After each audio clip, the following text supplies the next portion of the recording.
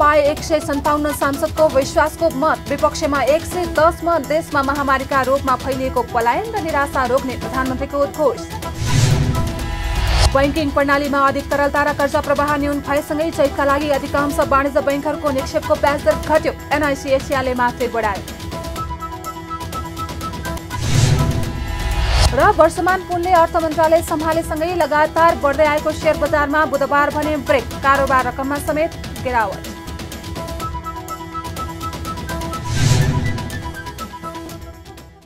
नमस्कार। कारोबार समाचारमा स्वागत छ अब समाचार विस्तारमा। प्रधानमन्त्री पुष्पकमल दाहालले आफूमाथि प्रतिनिधि सभाको विश्वास छ भन्ने स्पष्ट पार्न प्रतिनिधि सभा बैठकमा प्रस्तुत गर्नुभएको प्रस्ताव बहुमतले स्वीकृत भएको छ।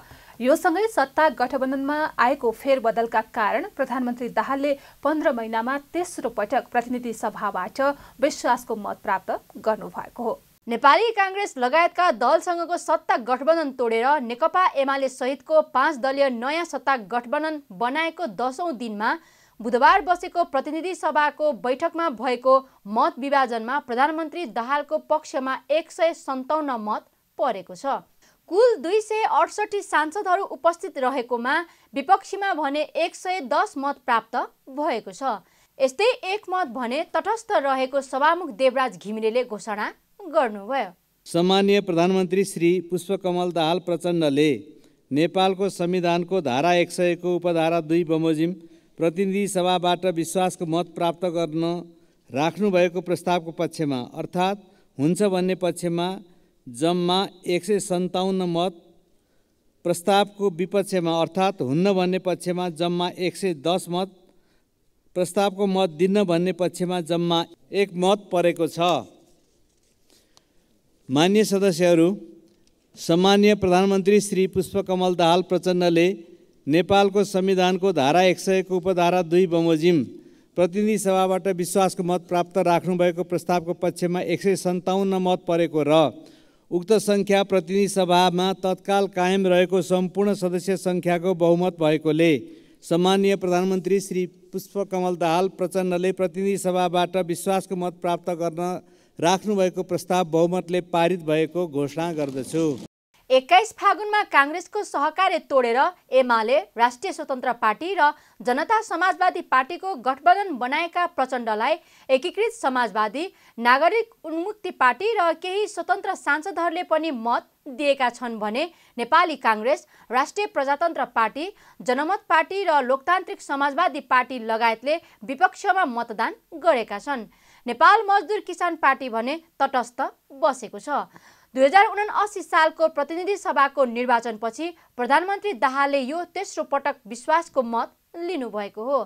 आजको बैठकमा आफूप्रति विश्वास छ भन्ने प्रस्ताव प्रस्तुत गर्दै प्रधानमन्त्री दाहालले एक वर्षमा काङ्ग्रेसभित्रका विचार समूहहरूको द्वन्द्वले सरकार र गठबन्धनमा पारेको प्रभावबाट आफू आजित भएकोले गठबन्धन फेर्नु परेको स्पष्ट पार्नुभयो।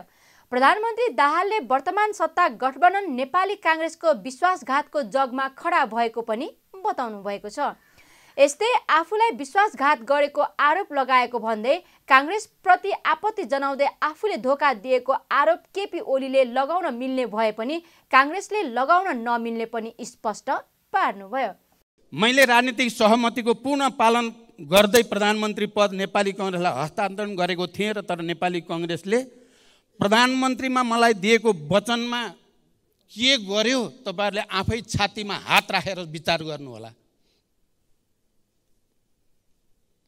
मैले अहिले प्राप्त गरेको प्रधानमन्त्री नेपाली कङ्ग्रेसको विश्वासघातको जगमा खडा भएको छ भन्ने कुरा नबिर्सिनु होला मैले बरु राष्ट्रिय सहमतिको आधार तयार पार्न नेपाली कङ्ग्रेसलाई समेत यो बिग फाइभ बिग सिक्समा सामेल गर्नुपर्छ भन्ने मत राखेँ मैले।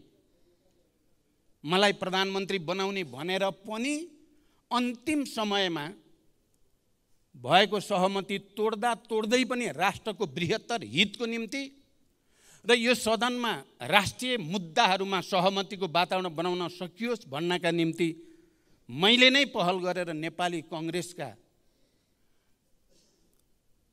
नेपाली कङ्ग्रेसलाई राष्ट्रपतिको पदमा जिताउन भूमिका खेलेको होइन। राष्ट्रपति त अहिले पनि तपाईँहरूकै हुनुहुन्छ। अनि यति छिटै सबै गुण बिर्सेर धोका। के हो धोका? कसले गरे विश्वासघात? धोकाको आरोप बरु मलाई धोकाको आरोप त बरु मलाई प्रधानमन्त्री बनाउन पहल गर्ने दलहरू र त्यसको मुख्य नेतृत्व मान्य केपी ओलीले लगाउन मिल्छ। प्रधानमन्त्री उहाँले बनाउने अनि खुरुक्क काङ्ग्रेसमा जाने।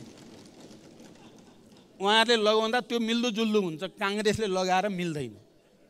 यता प्रधानमन्त्री दाहालले विश्वासको मत दिन बैठकमा पेश गर्नुभएको प्रस्तावमाथि छलफलमा भाग लिँदै नेकपा एमालेका अध्यक्ष केपी शर्मा ओलीले आफूले दुई महिनामा सरकार ढाल्दा अस्थिरता नहुने अहिले चौध महिनामा सरकार ढाल्दा कसरी अस्थिरता भयो भन्ने प्रश्न गर्दै काङ्ग्रेसलाई सरकार परिवर्तनमा आफ्नो भूमिका हेर्न अनुरोध गर्नुभयो। उहाँले नेपाली काङ्ग्रेसलाई ऐनामा हेरेर बोल्न आग्रह गर्दै काङ्ग्रेसले अरूको एकतामा भाँजो हाल्ने गरेको आरोप समेत लगाउनुभयो। संसद सुरु हुने बित्तिकै यति लामो कन्ठीमाला झुन्ड्याएर फेरि भाषण एउटा सुरुमै ठोक्नुभयो। ऐना त हेर्दै आउनुभएको होला नि बिहान घरबाट। त्यतापट्टि पनि नजाउँ। भइगयो। अब यो परिवर्तन भएको छ। यो त स्वाभाविक हो हामीले प्रतिस्पर्धाको प्रणाली ल्यायौँ बहुमत कसैसँग छैन। अस्थिरताको खेती यहाँहरूले गर्नुभएको। अहिले अस्थिरता पोहोर दुई महिनामा सरकार परिवर्तन गर्दाखेरि तपाईँहरूलाई अस्थिरता लागेन। अहिले एक वर्षपछि चौध महिनापछि परिवर्तन हुँदा के को अस्थिरता भयो? पोहोर त अस्थिरता भएको थियो नि त बेसरी अस्थिरता। नगरिकन तपाईँहरूले शान्तिपूर्ण ढङ्गले अस्थिरता बिना स्थिर ढङ्गले सरकार परिवर्तन गरे होइन दुई महिना नभइकन। अहिले चाहिँ अस्थिरता।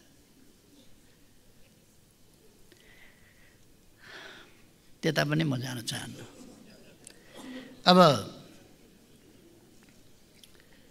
देशको परिस्थिति सुखद छैन। देशको राजनीतिमा सोझै विभिन्न नाममा राष्ट्रिय एकतामा भाँजो हाल्ने विभिन्न नाउँमा पहिचानका नाउँमा जातका नाउँमा धर्मका नाउँमा विद्वेष घृणा समाजमा फैलाउने। त्यस्ता प्रयासहरू खुलेआम भइरहेछ। एमालेका अध्यक्ष ओलीले आफूलाई प्रधानमन्त्रीको इच्छा नभएको समेत स्पष्ट पार्नु भएको छ। उहाँले प्रधानमन्त्री दाहाल आफू र नेकपा यसका अध्यक्ष माधव कुमार नेपालबीच प्रधानमन्त्री पद पन्ध्र पन्ध्र महिनाका लागि बाँडफाँड गरेको समाचार आएकोमा आपत्ति जनाउँदै आफूलाई प्रधानमन्त्री बन्ने इच्छा नरहेको बताउनुभयो। अध्यक्ष ओलीले प्रधानमन्त्री पद बाँड्ने भन्ने समाचारले आफूहरूले बनाएको सत्ता समीकरणको गरिमालाई घटाएको जिकिर समेत गर्नुभयो। आज प्रधानमन्त्रीको कार्यकाल तेह्र तेह्र वर्ष बाँडेको पन्ध्र पन्ध्र वर्ष बाँडेको बजारभरि देख्छु। यसले यो सरकार परिवर्तन किन भएको? यसमा नेताहरू सहकार्य किन गरेको भन्ने कुराको गरिमालाई घटाएको छ यस्ता खबरहरूको अनुचित सम्प्रेषण अनुचित यो गलत कुरा हो। न तेह्र तेह्र वर्षको कसैले सम्झौता गरेका छ न तेह्र तेह्र वर्ष यो भागभन्डाको कुरा हो। यो प्रधानमन्त्री हुनैकै लागि हामीले यस्तो गरे होइन। मलाई यो प्रधानमन्त्रीको इच्छा पनि छैन मेरो नाउँ पनि त्यहाँ तेह्र तेह्र वर्षमा जोडिया छ क्यार यो प्रधानमन्त्रीको इच्छा पनि होइन। छलफलमा भाग लिँदै प्रमुख प्रतिपक्षी नेपाली काङ्ग्रेसका महामन्त्री विश्व प्रकाश शर्माले काङ्ग्रेस र एमाले मिले के हालत होला भनी प्रधानमन्त्री दाहाललाई प्रश्न गर्नुभयो। उहाँले प्रधानमन्त्री दाहालले एमाले र काङ्ग्रेसलाई पालै पालो धोका दिएकाले उनीहरू मिलेर अघि बढ्यो भने प्रधानमन्त्री दाहालको अवस्था के हुन्छ भन्ने कुरा सबैले बुझेको विषय भएको समेत बताउनुभयो। उहाँले एमाले अध्यक्ष केपी ओली र पार्टी सभापति शेरबहादुर देवा बीचको सहयात्रा सुरु हुन सक्ने सम्भावना औलाउँदै त्यसको हेक्का राख्न पनि सचेत गराउनुभयो। महामन्त्री शर्माले प्रधानमन्त्रीबाट धोका पाएकाहरू बीच एक हौ भन्ने नारा लाग्न सक्ने दावी समेत गर्नुभयो। अहिले काङ्ग्रेस विपक्षमा रहेको पक्षको मात्रै जोड्दै गर्दा पालै पिलो विपक्षमा रहेकोहरूको हिसाब जोड्दै गर्दा क्लियर हुँदैन र हिसाब। पालै पालो विपक्षमा उभिएकाहरू एउटै पक्षमा उभिए भने नि। धोका खाएकाहरू एक हौँ भनेर नारा लाग्यो भने नि। तब राजनेताको गद्दीको हालत चाहिँ के होला सम्माननीय प्रधानमन्त्रीज्यू? यहाँले अघि काङ्ग्रेसको कसैले राजनेता भन्नुभएको भन्ने कुरालाई भन्नुभएको छ। कुरा नचल्ने भनेर भन्नुभयो। पूर्व प्रधानमन्त्रीज्यूले तलबाट हाम्रो सभापतिले इसारा गरेर कुरा चल्ने हो भन्नुभयो। कुरा नचल्नेहरूको कुरा चल्न सुरु गर्यो भने यहाँको यात्रा चाहिँ कतातिर चल्छ होला प्रधानमन्त्रीज्यू? यता बैठकमा राप्रपाका अध्यक्ष राजेन्द्र लिङ्गदेलले आफ्नो पार्टी सत्तारूढ गठबन्धनमा सहभागी नहुने स्पष्ट पार्दै प्रधानमन्त्री दाहाललाई पनि आफ्नो पार्टीले विश्वासको मत दिन नसक्ने स्पष्ट पार्नु भएको थियो। अध्यक्ष लिङ्गदेलले सत्ता केन्द्रित नयाँ सत्ता समीकरण भएकाले यसले आफूलाई देश र जनताको पक्षमा नभए आफ्नो सुरक्षा कवचको रूपमा प्रयोग गर्ने जिकिर समेत गर्नुभयो। बैठकमा सत्तारूढ राष्ट्रिय स्वतन्त्र पार्टीका उपाध्यक्ष डाक्टर सोर्णी वाग्लेले भने आफ्ना मन्त्रीहरूले काम गर्न नसकेको दिन सरकारबाट आफै बाहिरिने बताउनु भएको थियो। प्रधानमन्त्री पुष्पकमल दाहालले पूर्व अर्थमन्त्री डाक्टर प्रकाश शरण महतलाई आफूले मनलाग्दी पैसा माग्यो भन्ने कुराको पुष्टि गरेर देखाउन चुनौती दिनु भएको छ।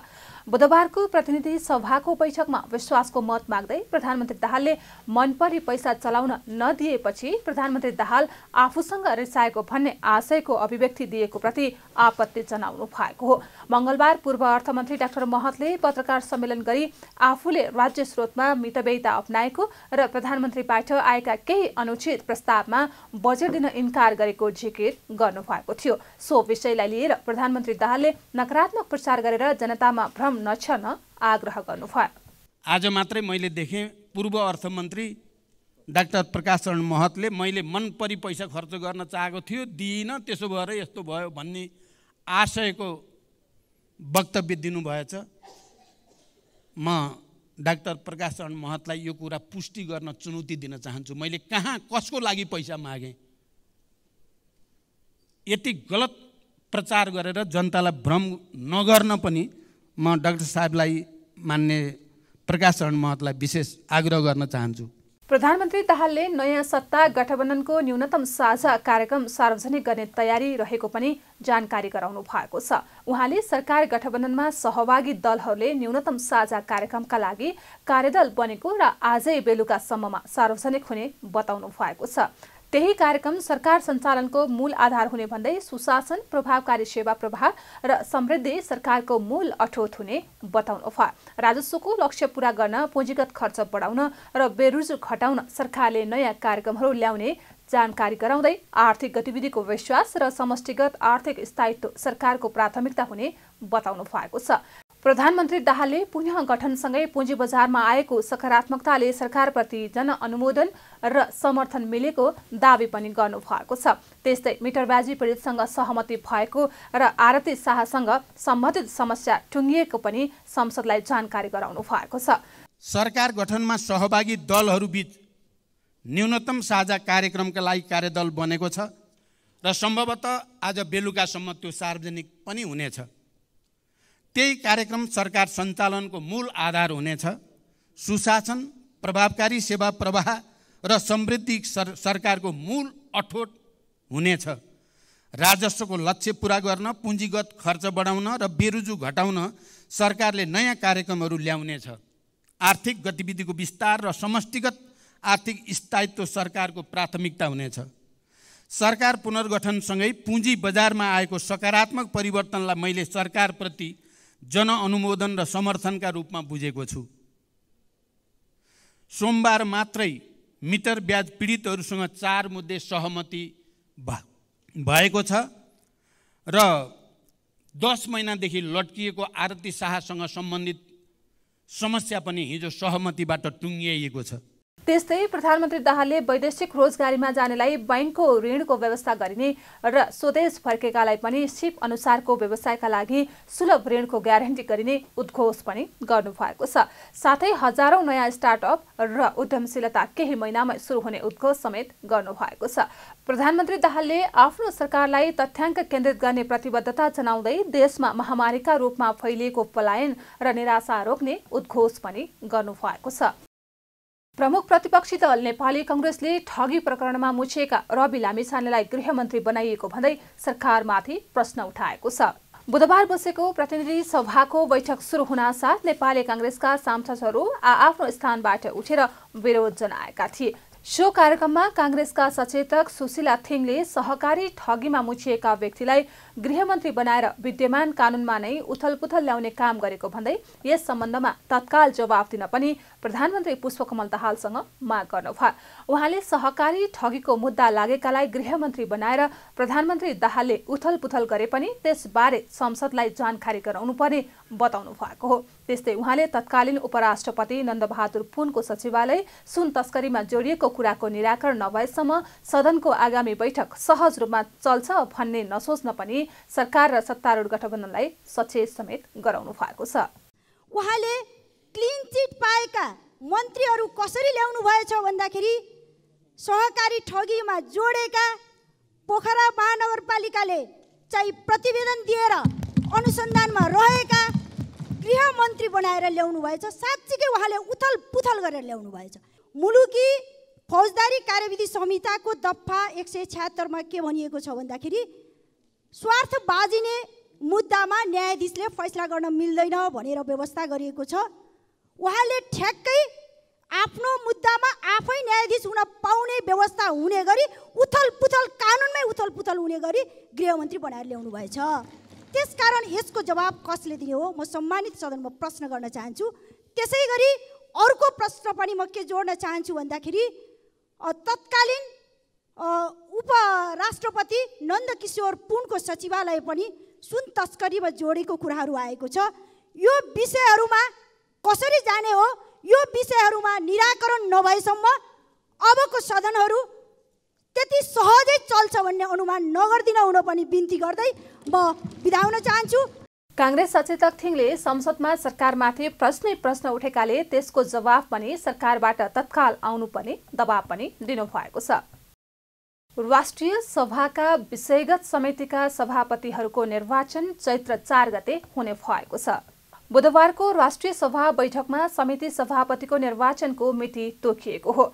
बैठकमा राष्ट्रिय सभा अध्यक्ष नारायण प्रसाद दाहालले राष्ट्रिय सभाको नियमावली दुई हजार पचहत्तरको नियम एक सय पचास बमोजिम राष्ट्रिय सभाका विषयगत समितिका सभापतिहरूको निर्वाचनका लागि मिति दुई हजार अस्सी चैत्र चार गते आइतबारको दिन तोकेको जानकारी गराउनुभयो उहाँले समिति सभापतिहरूको निर्वाचन सम्बन्धित कार्यक्रमको सूचना प्रकाशित गर्न राष्ट्रिय सभाका सचिव डाक्टर सुरेन्द्र अर्याललाई निर्देशन पनि दिनुभएको छ।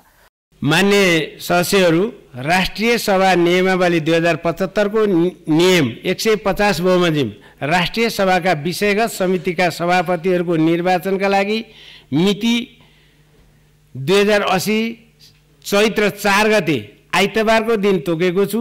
समिति सभापतिहरूको निर्वाचन सम्बन्धी कार्यक्रमको सूचना प्रकाशित गर्न राष्ट्रिय सभाका सचिव डाक्टर सुरेन्द्र अर्याललाई निर्देशन गर्दछु। राष्ट्रिय सभाको अर्को बैठक चैत्र दुई गते बुधबार बिहान एघार बजेर पन्ध्र मिनटमा बस्नेछ। अधिकांश वाणिज्य ब्याङ्कहरूले चैत्र महिनाका लागि निक्षेपको ब्याज दर घटाएका छन्। बैङ्किङ प्रणालीमा अधिक तरलता र कर्जा प्रवाह न्यून भएसँगै अधिकांश वाणिज्य ब्याङ्कहरूले चैत महिनाका लागि निक्षेपको ब्याज दर घटाएका हुन्। बैङ्कहरूले सार्वजनिक गरेको नयाँ ब्याज दर तालिका अनुसार फागुनको तुलनामा चैत महिनामा व्यक्तिगत मुद्दतीको औसत ब्याज दर शून्य दशमलव पाँच प्रतिशत बिन्दुले घटेको छ। फागुन महिनामा विश्वटे वाणिज्य ब्याङ्कहरूको व्यक्तिगत मुद्दतीमा औसत ब्याज दर सात दशमलव सात पाँच प्रतिशत रहेकोमा चैत महिनाका लागि भने सात दशमलव दुई पाँच प्रतिशतमा छरेको हो। अधिकांश वाणिज्य ब्याङ्कहरूले चैत महिनाका लागि निक्षेपको ब्याज दर घटाउँदा एनआइसी एसिया ब्याङ्कले पनि बढाएको छ। बैङ्कका विषयमा विभिन्न नकारात्मक प्रचार भएसँगै बैङ्कबाट केही निक्षेप झिकिएपछि बैङ्कले तरलताको सहज व्यवस्थापन गर्न ब्याज दर बढाएको हो। उक्त बैङ्कले चैतदेखि लागू हुने गरी व्यक्तिगत मुद्दती निक्षेपमा ब्याज दर सबैभन्दा धेरै आठ दशमलव पाँच चार आठ प्रतिशत कायम गरेको छ। यता प्रभु र ग्लोबल आइएमएले फागुनकै दरलाई निरन्तरता दिएका छन्। बैङ्कहरूले गत साउनबाट निक्षेपको ब्याज दरमा गरेको भद्र सहमति खारेज भएपछि आफ्नो स्वेच्छाले प्रतिस्पर्धात्मक रूपमा तरलता आवश्यकता अनुसार ब्याज दर प्रकाशित गर्दै आएका छन्। व्यक्तिगत मुद्दती निक्षेपको अधिकतम ब्याज दर घटाउँदै जाँदा बचत र कल निक्षेपको ब्याज दर पनि स्वतः घट्छ। राष्ट्र ब्याङ्कले व्यक्तिगत मुद्दती निक्षेपको माथिल्लो सीमा र बचतको न्यूनतम ब्याज दर बीचको अन्तर बढीमा पाँच प्रतिशत भन्दा धेरै हुन नहुने व्यवस्था गरेको छ। यसले गर्दा बचतको ब्याज दर पनि घट्नेछ। कल निक्षेपमा बचतको न्यूनतम ब्याज दरको पचास प्रतिशत मात्रै ब्याज दिन पाइने व्यवस्था रहेको छ। बैङ्कले लिने सबै प्रकारका निक्षेपको ब्याज दर घटेपछि समग्रमा आधार दर नै घट्नेछ भने कर्जाको ब्याज दर पनि स्वतः घट्नेछ। वर्षमान पुलले अर्थ मन्त्रालय सम्हालेसँगै लगातार बढ्दै आएको सेयर बजारमा बुधबार भने ब्रेक लागेको छ। बुधबार सेयर बजार मापन गर्ने नेप्से परिसूचक अघिल्लो दिनको तुलनामा शून्य दशमलव एक एक प्रतिशत अर्थात् दुई दशमलव चार आठ अङ्कले घटेर दुई हजार एक सय आठ दशमलव सात दुई अङ्कमा झरेको हो। यस दिन तीव्र उतार चढाव देखिएको बजारमा विकास बैङ्क वित्त जीवन बिमा लघुवित्त म्युचुअल फन्ड र अन्य समूहको परिसूचक भने हरियो देखिएको छ। वित्त समूहको परिसूचक भने दुई दशमलव तीन दुई प्रतिशतले बढेको छ। आज नेप्से परिसूचकसँगै कारोबार रकम समेत घटेको छ। दिनभर कुल तीन सय दस कम्पनीको एक करोड आठ लाख उनानब्बे हजार किता सेयर चार अर्ब चौबिस करोड पचासी लाख रुपियाँ बराबरमा किनबेच भएको हो। अघिल्लो दिन एक करोड छ लाख नौ हजार किता सेयर चार अर्ब पचपन्न करोड सोह्र लाख रुपियाँ बराबरमा किनबेच भएको थियो। नेप्से परिसूचक र कारोबार रकम दुवै घट्दा पनि चारवटा कम्पनीको सेयर मूल्य भने सर्किट लेभलमा बढेको छ। जसमा बिन नेपाल लघुवित्त वित्तीय संस्था लिमिटेडको नौ दशमलव नौ नौ उन्नति सहकारी लघुवित्त वित्तीय संस्था लिमिटेडको नौ दशमलव पाँच आठ आत्मनिर्भर लघुवित्त वित्तीय संस्था लिमिटेडको नौ दशमलव दुई दुई र समाज लघुवित्त वित्तीय संस्था लिमिटेडको नौ दशमलव शून्य तीन प्रतिशतले बढेको हो। यता माथिल्लो तामाकोशी जलविद्युतको सेयर मूल्य भने दस प्रतिशतले घटेर नकारात्मक सर्किट लागेको छ। राष्ट्रिय स्तरको स्वास्थ्य पुनर्स्थापना केन्द्र नहुँदा दुर्घटनामा अङ्गभङ्ग भएका बिरामीको उपचारमा समस्या देखिएको छ। मुख्य गरी दुर्घटनामा परेर अङ्गभङ्ग भएकाहरूको उपचारसँगै शारीरिक व्यायाम अभ्यास गराएर गराइने उपचारमा समस्या देखिएको हो। सरकारको आफ्नो पुनर्स्थापना केन्द्र नभएकोले बिरामीले निजी पुनर्स्थापना केन्द्रमा महँगोमा उपचार गराउन बाध्य बनिरहेका छन्। राष्ट्रिय ट्रमा सेन्टरका मेडिकल सुपरिन्टेन्डेन्ट डाक्टर बद्र रिजालले यस्तो उपचार चिकित्सकहरूको निगरानीमा वा सल्लाहमा पुनर्स्थापना केन्द्रमा राखेर उपचार गराउँदा बिरामी छिटो निको हुने बताउनु भएको छ। उहाँले हालसम्म नेपालमा सरकारी स्तरमा पुनर्स्थापना केन्द्र नरहेको जानकारी गराउँदै पुनर्स्थापना केन्द्र नहुँदा बिरामीहरू निजी स्वास्थ्य संस्थामा महँगो रकम तिरेर उपचार गराउन बाध्य रहेको पनि बताउनु भयो। ट्रमामा आउने बिरामीहरूको तपाईँलाई मैले लास्ट इयरको डाटा भन्दा पनि जस्तो विपन्न नागरिककोबाट उपचार लिएका बिरामीहरू जसलाई पुनर्स्थापना गर्नुपर्ने हुन्छ रिहाब सेन्टरमा जानुपर्ने हुन्छ ती बिरामीहरू स्पाइन इन्जुरीको हेड इन्जुरीको बोन क्यान्सर गरेर हाम्रै सेन्टरमा विपन्नबाट उपचार पाएका बिरामी नै आठ सय छब्बिसजना छन्। त्यत्रो बिरामीहरूले उपचार पाइराख्नु भएको छ। र त्यो बिरामीलाई उप सर्जरी मात्रै उपचार होइन है। सर्जरी पछि रियाब चाहिन्छ पुनर्स्थापन गर्नुपर्छ र ती बिरामीहरू अब आइएनजिओ प्राइभेट संस्थाहरूमा गइरहेको अवस्था छ। त्यहाँ महँगो उपचारमा परिरहेको हुनाले एउटा चाहिँ सरकारी लेभलमै एउटा रियाब सेन्टर चाहिन्छ ट्रोमा पुनर्स्थापन केन्द्र चाहिन्छ भनेका छौँ। र मेन आज चाहिँ त्यही कुरालाई जानकारी गराउन र यसमा तपाईँहरू पत्रकार साथीहरूले पनि अलिकति आवाज उठाएर यो रियल निडी हो। यसलाई चाहिँ सरकारले चाहिँ अन गरेर चाँडो बनाउनुपर्छ भन्ने हिसाबमा मेसेज पुगोस् भन्नलाई हो त्यो एउटा कुरा। दुर्घटना पछिको आकस्मिक उपचार पछिका बिरामीले पूर्ववत अवस्थामा फर्कन वा जीवनशैलीलाई सहज बनाउन विभिन्न प्रकारको व्यायाम र थेरापी गर्नुपर्ने हुन्छ। यो लामो समय लाग्ने उपचारको प्रक्रिया हो। अहिलेसम्म सरकारको आफ्नो छुट्टै पुनर्स्थापना केन्द्र भने छैन। ललितपुरको गोदावरी नगरपालिकाले पुनर्स्थापना केन्द्र निर्माणमा चासो देखाएको छ। नगरपालिकाको वडा नम्बर दस र छको सीमामा पर्ने भ्यालुन्टायर सामुदायिक वन र फैडोल सामुदायिक वन क्षेत्रभित्र पुनर्स्थापना केन्द्र निर्माण गर्न जग्गा उपलब्ध गराउने निर्णय समेत भएको छ। राष्ट्रिय ट्रामा सेन्टरका मेडिकल सुपरिन्टेन्डेन्ट डाक्टर रुजालले निर्माणको लागि थप प्रक्रिया अघि बढाउन स्वास्थ्य तथा जनसङ्ख्या मन्त्रालयमा आग्रह पत्र पठाएको जानकारी गराउँदै सरकारले प्राथमिकतामा राखेर छिटो निर्णय गर्नुपर्नेमा जोड दिनुभयो। अब जग्गा लगभग नगरपालिकाले अब उपलब्ध गराउने भनेर डिसिसनै गरेर अगाडि बढिसकेको कुरा छ। र हामी जस्तो अब मालपोत कार्यालयदेखि सिडिओ कार्यालय हुँदै भूमि भूमि सुधार मन्त्रालय विभाग हुँदै जानुपर्ने हुन्छ। त्यसमा चाहिँ अब सम्पूर्णको सहयोग हुन्छ भन्ने हामीले आशा गरेका छौँ। त्यो भयो भने पक्कै पनि अब जुन जुन पुनर्स्थापना केन्द्र स्थापना छ। यसले चाँडै नै मूर्त रूप लिन्छ भन्ने हामीले चाहिँ आशा गरिरहेछौँ। नेपालमा दुर्घटनाको अवस्था कहाली लाग्दो छ। स्वास्थ्य सेवा विभागको तथ्याङ्क अनुसार दुई हजार उनासी अस्सीमा सवारी दुर्घटनामा परेका एक लाख एक हजार नौ सय सत्तालिस घाइते अस्पताल पुगेका छन्। विभागको तथ्याङ्क अनुसार चौरानब्बे हजार छ सय पैँसठी घाइते अस्पतालका ओपिडी र गम्भीर घाइते भएका सात हजार दुई सय बयासी इमर्जेन्सीमा पुगेका छन्। दुई हजार उनासी अस्सीमा दुई हजार आठ सय तिरासी जनाले दुर्घटनामा ज्यान गुमाएको तथ्याङ्क रहेको छ। कारोबार समाचारमा अब सुन चाँदी र विदेशी विनिमय दर सम्बन्धी जानकारी।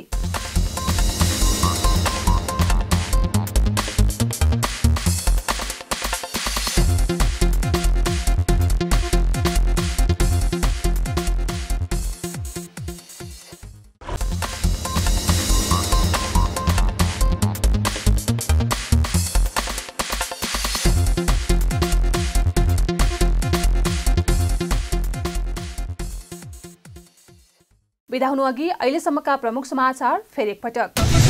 प्रधानमन्त्री दाहालले पाए एक सय सन्ताउन्न सांसदको विश्वासको मत विपक्षमा एक सय दस मत देशमा महामारीका रूपमा फैलिएको पलायन र निराशा रोक्ने प्रधानमन्त्रीको उद्घोष।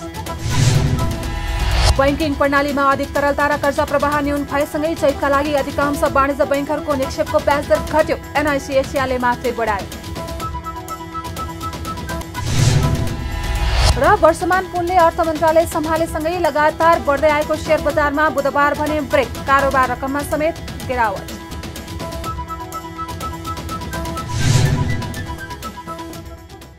कारोबार समाचार सकियो। हामीलाई बिदा दिनुहोस्। नमस्ते।